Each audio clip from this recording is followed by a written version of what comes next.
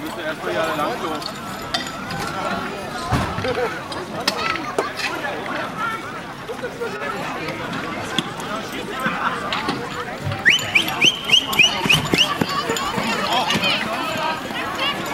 Los Marco!